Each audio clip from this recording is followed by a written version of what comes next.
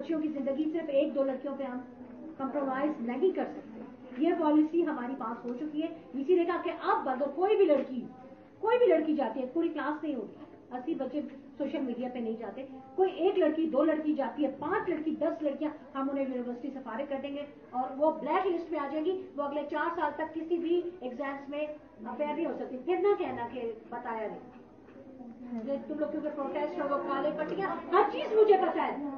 के स्टेटस हर चीज़